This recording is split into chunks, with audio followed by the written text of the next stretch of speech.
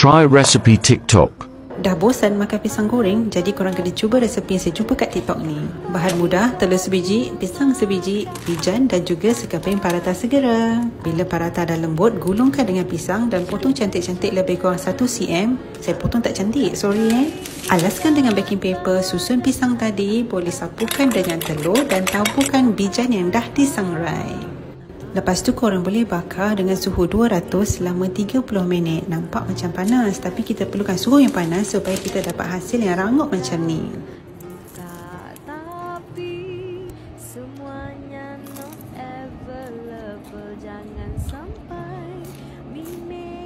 Menarik kan? Selamat mencuba.